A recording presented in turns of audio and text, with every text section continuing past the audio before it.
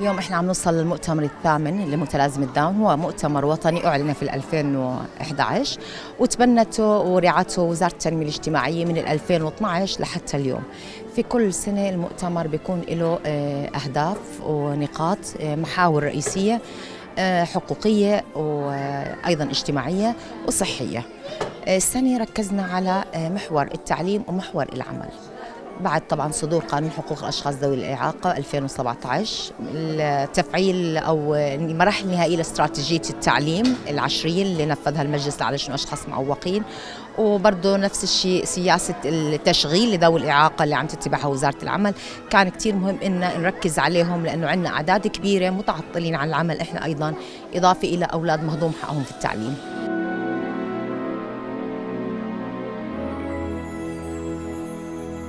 أنا من الناس اللي اليوم تشرفت اندعيت على حضور هاي الفعالية اللي هي متخصصة بالأطفال اللي بيعانوا من متلازمة داون.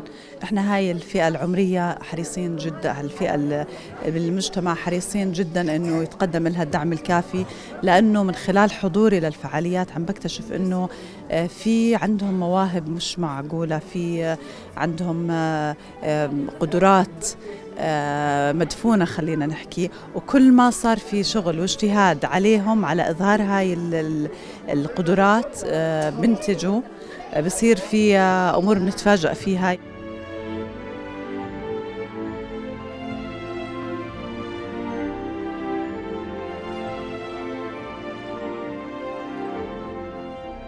انطلاقا من الأهداف الاستراتيجية لوزارة التنمية الاجتماعية بضرورة التنسيق والتشبيك مع الجمعيات العاملة مع الأشخاص ذوي الإعاقة وتسهيل تسهيل الخدمات للأشخاص ذوي الإعاقة.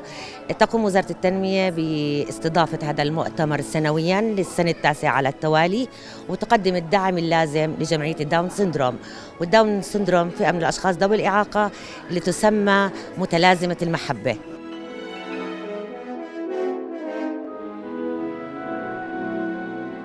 ولية أمر لطفل Down.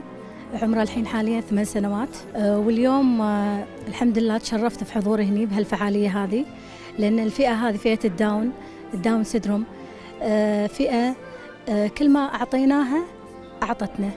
كل ما قدمنا لها من إمكانيات ومن مقررات دراسية قوية ومتخصصين فيهم كل ما أعطونا نتائج حلوة.